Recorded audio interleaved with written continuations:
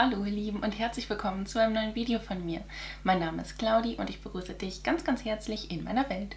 Heute habe ich ein ähm, Rossmann-Haul für dich und wenn du Bock drauf hast, dann hol dir was zu essen, hol dir was zu trinken, lehn dich zurück, genieß die Show und viel Spaß mit dem Video.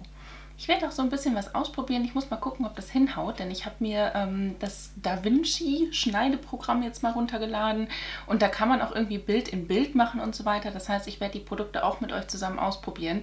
Ich hoffe, dass es funktioniert. Falls es nicht funktioniert, ähm, seht ihr die Produkte und danach dann, wie es dann auf meinem Gesicht aussieht. Wir müssen mal schauen. Also, ich habe zweimal was bei Rossmann eingekauft, weil äh, ja, meine Rossmann-Filiale ist in der Nähe von einer Ärztin von mir ähm, und da bin ich halt in der letzten Zeit zweimal gewesen. Plus ich habe noch ein bisschen was beim Purish zugeschickt bekommen von Revolution und da habe ich mir gedacht, Revolution gibt es ja bei Rossmann, macht Sinn, dass ich das hier mit integriere.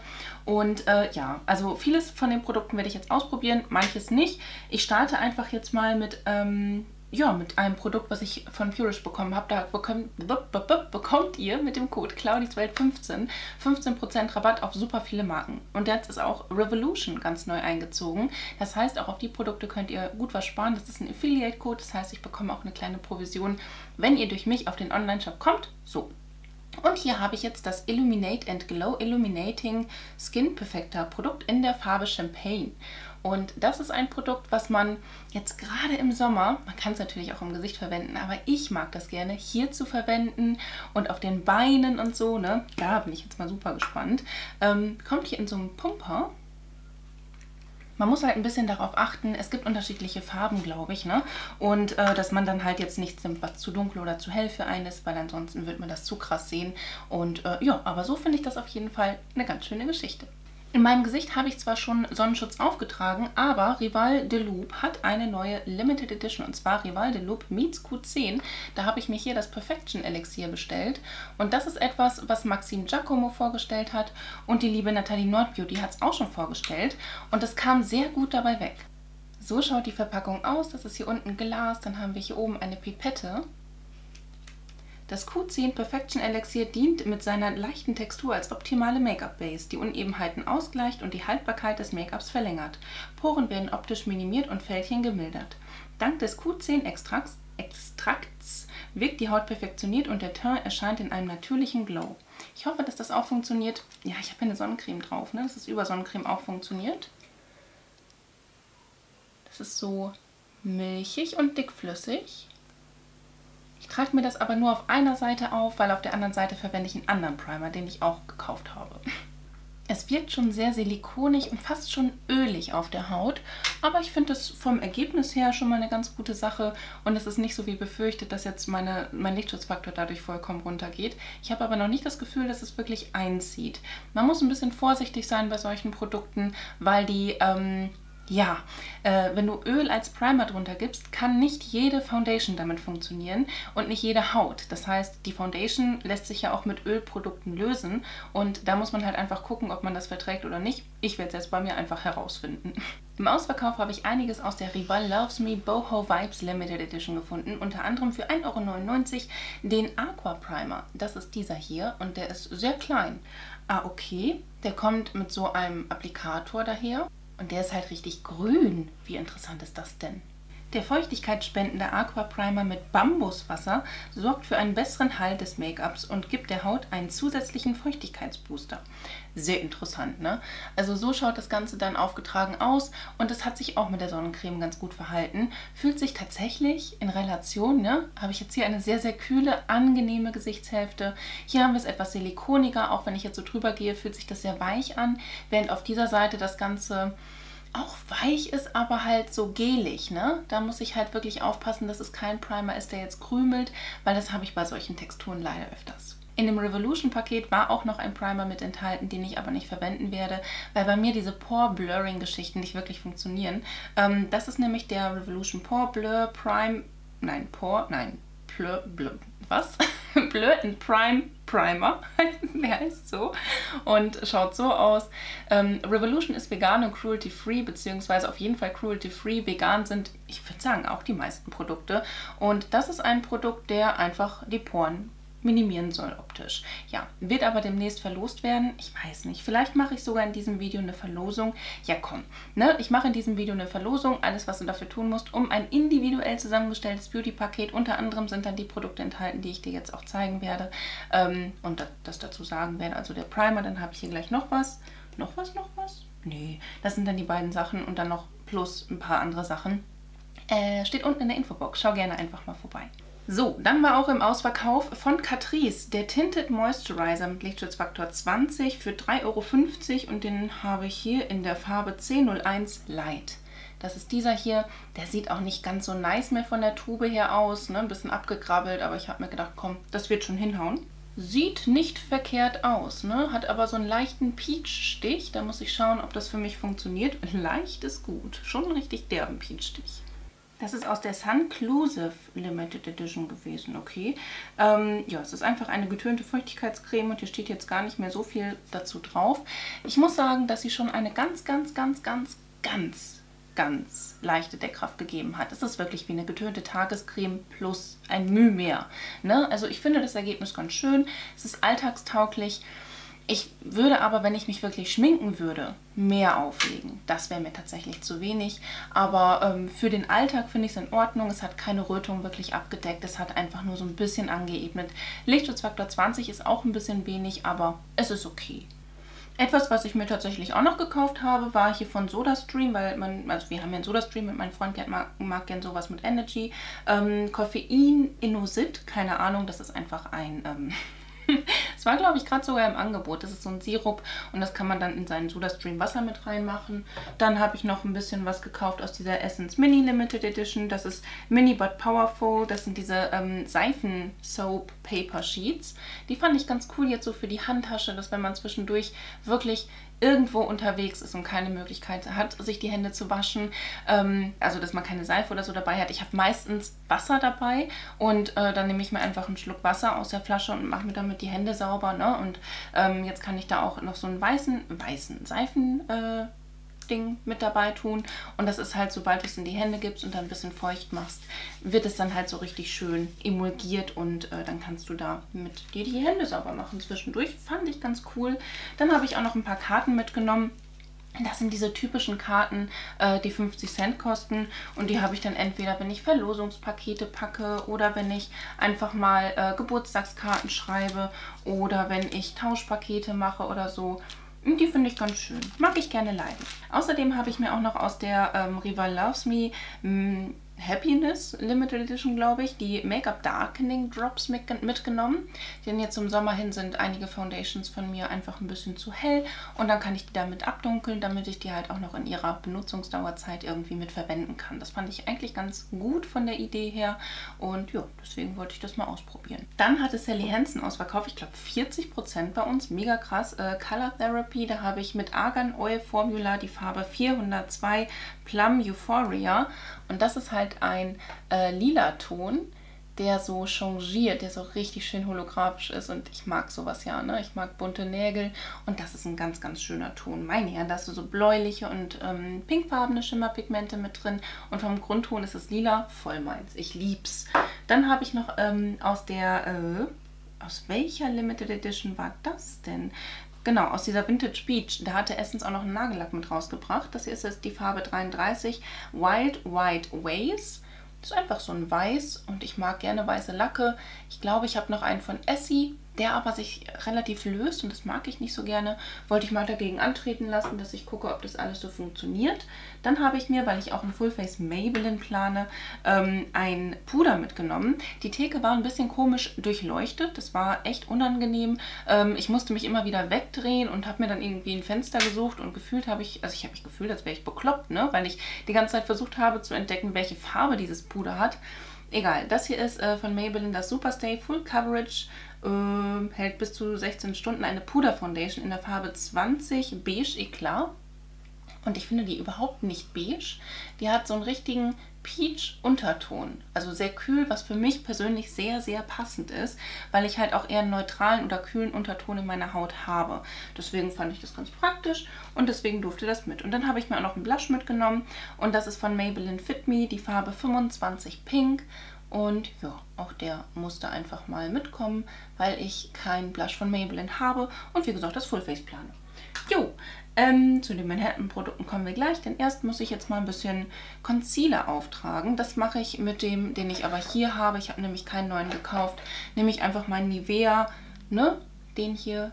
Der ist auch sehr, sehr leicht von der Deckkraft her der deckt halt auch wirklich nicht unbedingt ab. Das ist halt mein Alltagsconcealer, aber ja, den habe ich jetzt einfach genommen. Und jetzt habe ich ein Produkt, was ich sehr spektakulär finde. Der Natalie Nord Beauty hat davon enorm geschwärmt und da muss es heftig sein.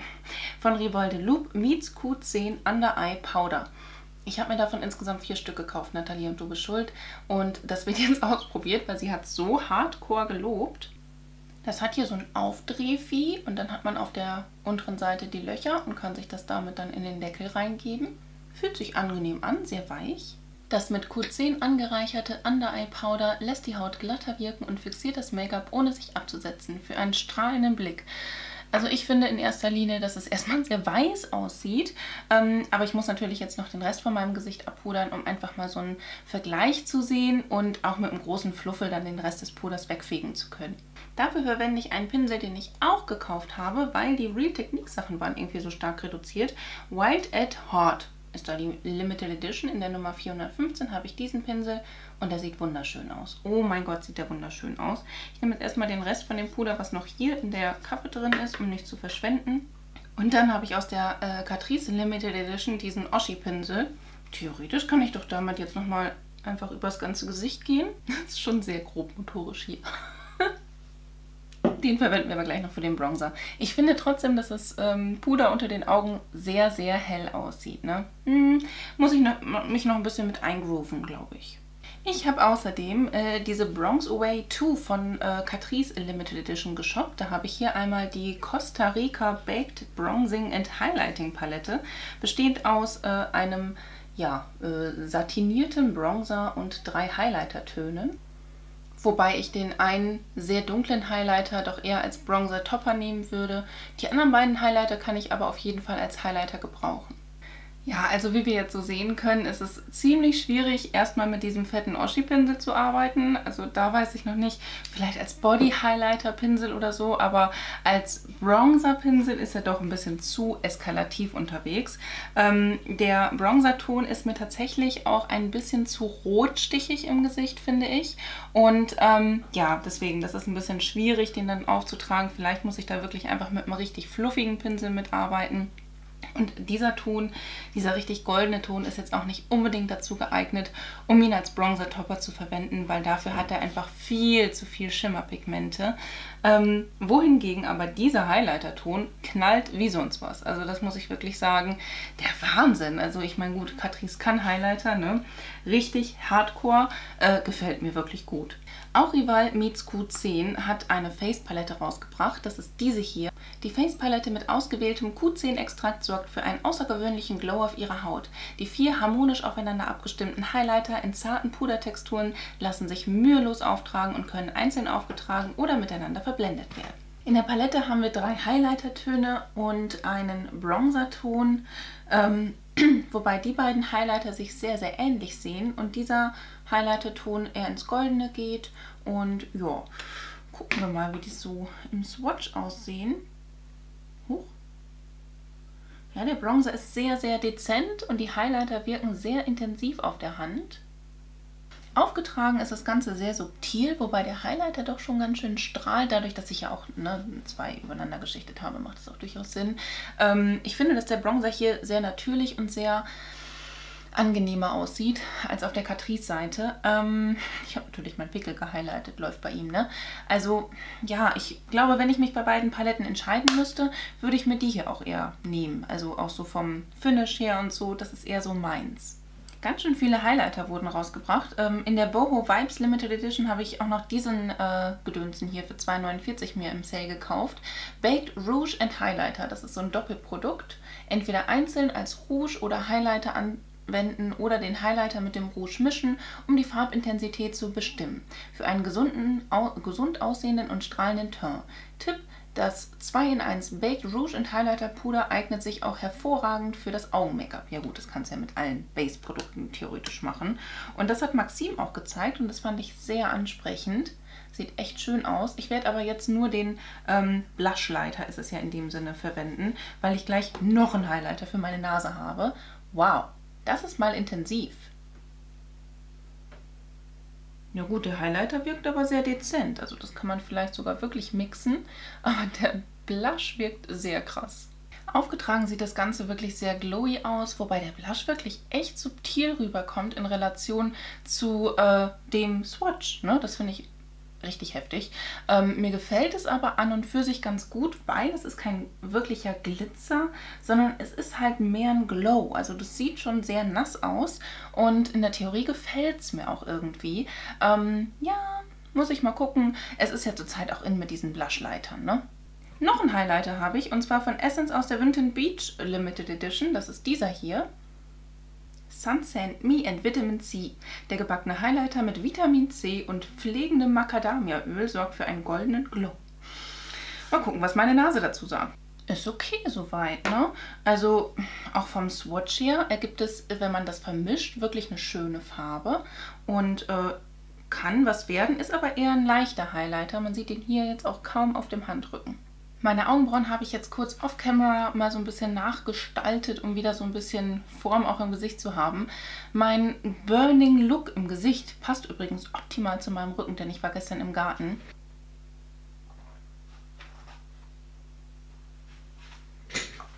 War nicht die beste Idee meines Lebens. Ich habe Lichtschutzfaktor 50 Plus aufgetragen, aber ich habe vergessen, dass ich dann ab und an vielleicht auch mal schwitze. Der ist halt verschwunden irgendwann, ne? dann ist der Lichtschutzfaktor aufgebraucht und dann sollte man theoretisch nachlegen. Habe ich vergessen. Naja, ich habe zwei neue Limited Edition Paletten hier mir von Catrice und von Essence geholt, die sehr, sehr ähnlich aussehen. Deswegen mache ich eine ein Look auf diesem Auge, ein Look auf diesem Auge und dann schauen wir mal. Ich bin gespannt. Hier habe ich einmal die Essence Vinted Beach Palette. Die sieht sehr hell aus, sehr sommerlich, hat einen Pop of Color und auch diese äh, gebackenen Marble-Lidschatten. Da haben wir leider keinen Spiegel drin, aber in der Catrice Palette befindet sich ein Spiegel. Und da haben wir eine ziemlich ähnliche Pop of Color. Wir haben zwar keine Marble-Lidschatten, aber das ist von der Color Story her schon recht ähnlich. Hier haben wir die Catrice Swatches und hier haben wir die Essence Swatches und ich habe versucht, das mal so nebeneinander zu setzen, wie es halbwegs passen könnte. Manche sind natürlich total unterschiedlich, aber ich würde fast schon sagen, dass man eigentlich nur eine von den beiden Paletten braucht. Die Pigmentierung von der Essence Palette ist relativ mau, aber interessante Töne sind trotzdem mit dabei. Ich habe mir übrigens auch so ein Zweier-Set von den Real Techniques Pinseln gekauft und ich glaube, die werde ich jetzt auch beide verwenden und dann immer wieder in meinem Handtuch sauber machen, um halt auch wirklich die gleichen Pinsel zu verwenden. Definitiv lässt sich mit beiden Paletten äh, ein sehr, sehr ähnlicher Look schminken, wie wir jetzt ja auch sehen können. Wir sind relativ langweilig gestartet und haben auf der Catrice-Seite natürlich den Setting-Ton genommen, der sich ganz unten rechts in der Palette befindet und haben damit einfach das Augenlid gesettet. Ähm, genau das gleiche haben wir dann natürlich auch auf der ähm, Essence-Seite gemacht. Auch unten rechts befindet sich ein Setting-Ton und ähm, ja, das ist ein bisschen merkwürdig, denn hier oben ist fast genau der gleiche Ton nochmal. Naja, muss nicht unbedingt sein. Ich bin zuallererst auf der Catrice-Seite äh, in diesen, ähm, ja, senffarbenen Ton reingegangen, der sich oben links befindet. Der hat eine ordentliche Pigmentierung, aber ich musste schon ein bisschen mehr blenden, um da auch einen schönen ja, Übergang hinzubekommen. Bei der Essence-Seite habe ich ebenfalls den Ton genommen, der sich oben ähm, links in der Palette befindet. Der war sehr, sehr mau, also den musste ich schon ordentlich aufbauen, um dann ordentliches Pigment mit zu erzeugen. Danach habe ich dann bei der Catrice-Seite den Ton genommen, der sich oben rechts befindet. Das ist so ein ja, etwas aschigeres Bräun, Bräun, Braun und damit habe ich dann die Lidfalte verdunkelt, um da auch noch ein bisschen mehr Tiefe zu schaffen. Das hat ganz gut funktioniert und ging echt leicht. Ähm, bei der Katri ach Quatsch, bei der Essence-Seite habe ich mir dann den Ton genommen, der sich unten links befindet und das ebenfalls gemacht. Auch das hat schön funktioniert, ähm, war aber nicht so farbintensiv wie auf der Catrice-Seite.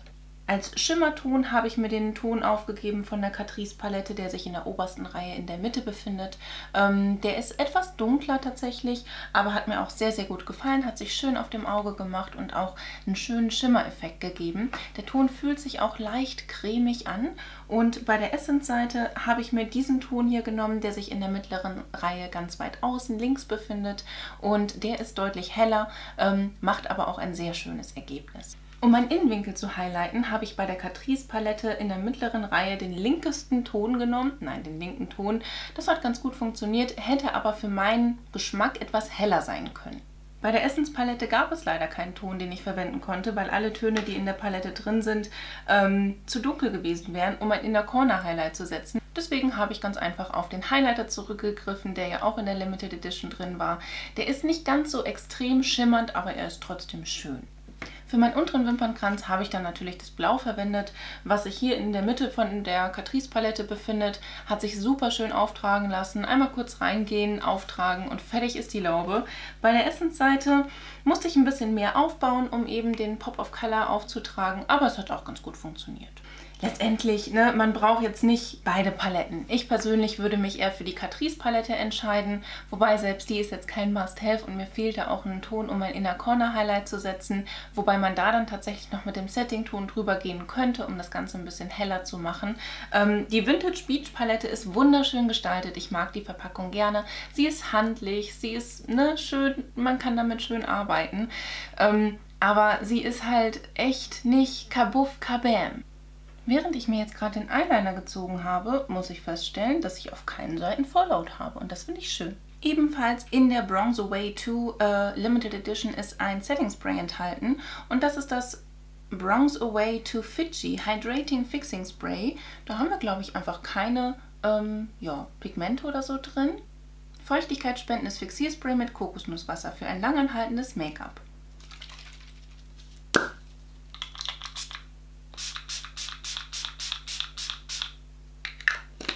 schon ein recht aufdringlicher Sprühnebel. Oh, das riecht aber auch ein bisschen baumig.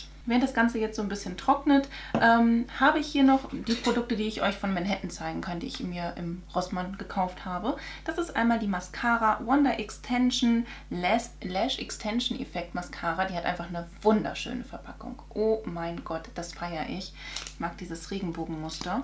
Hat ein Gummibürstchen, was spektakulär böse aussieht. Bin ich echt gespannt drauf, aber das wird dann halt auch demnächst mal in Anwendung kommen. Außerdem habe ich mir einen Blush geholt. Das ist dieser hier, Maxi Blush in der Farbe 100 Exposed. Ein Puder. Das ist einfach ein Soft Compact Powder. Ich weiß gar nicht. Doch 1 Nat Naturell ist hier die Farbe. Die habe ich mir mitgenommen. Des Weiteren selbstverständlich ein Bronzer. Das ist der Natural Bronzer Ultrafeines Bronzing Powder in der Farbe 001 Sunlight einen Augenbrauenstift, Blondie Brow 93D, das ist einfach einer zum Anspitzen. Die Lasting Perfection 25 Stunden Foundation, keine Ahnung, Hydration Boost, hohe Deckkraft, angenehmes Tragefühl, Lichtschutzfaktor 20, Farbe 45 Fair Porcelain. Die fand ich doch mal sehr passend von der Farbe. Ja, äh, Geschichte. Ein Concealer musste mit, das ist der Wake Up Concealer. Ich glaube, den hatte ich schon mal. 090 Porcelain ist hier die Farbe. Der ist so leicht peachy. Der ist nicht gelblich, ist eher so ne, ins Peachige, ins Kühle. Und last but not least habe ich mir auch einen Primer mitgenommen und zwar den Radiance Primer Illuminating All Day Radiant Looking Skin. Das ist dieser hier.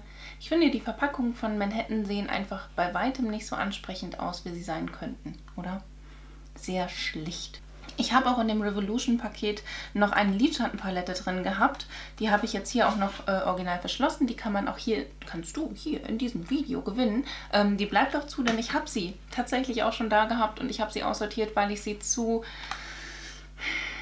neutral fand. Also muss ich wirklich sagen, das ist die Forever Flawless Allure Palette, kommt in dieser ne, äh, Metallverpackung.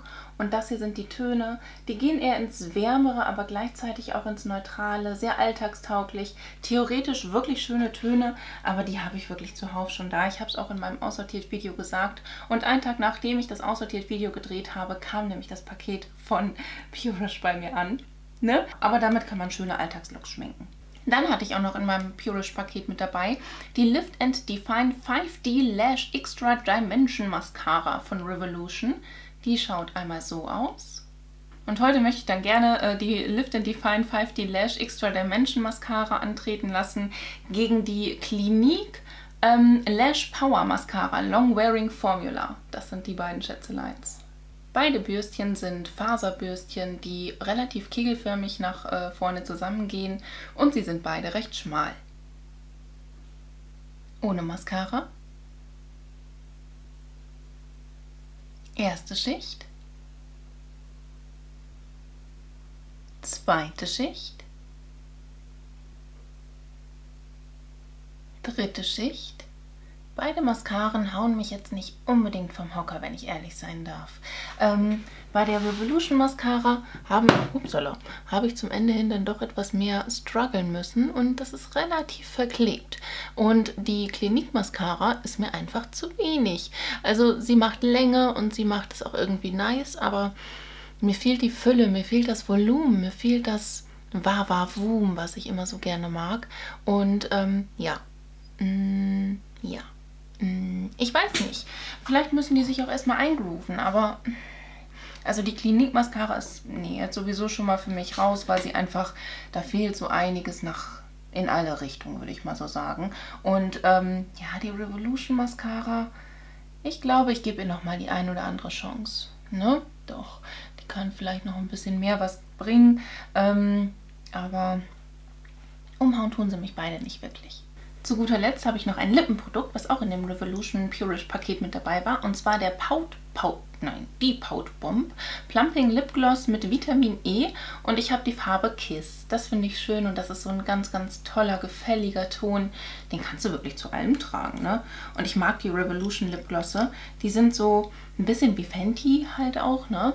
Mm, haben hier ein richtig fettes Applikatorfüßchen und die riechen auch gut.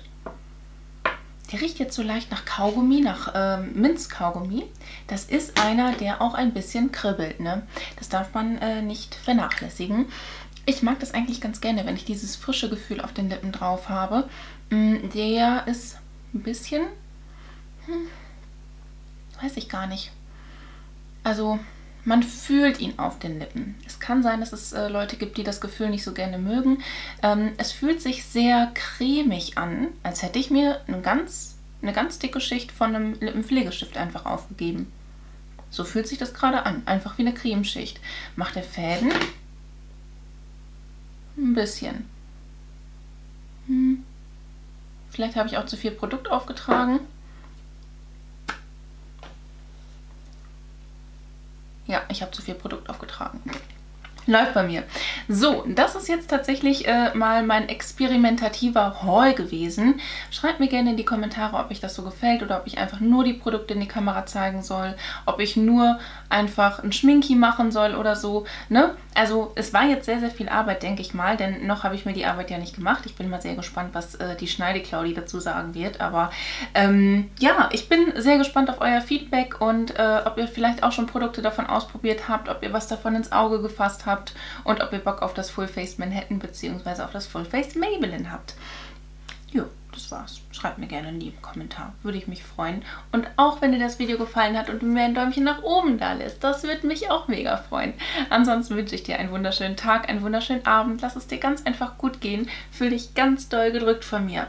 Ich verlinke dir mal hier oben meine Playlist mit den ganzen Holz. Hier unten meinen neuesten Upload. Auf dieser Seite noch ein Video von mir. Und hier oben kannst du, wenn du möchtest und es vielleicht noch nicht getan hast, mich sehr, sehr gerne einmal kostenlos abonnieren. Ich würde mich echt von Herzen drüber freuen. Lass es dir gut gehen und hoffentlich bis zum nächsten Mal. Ciao!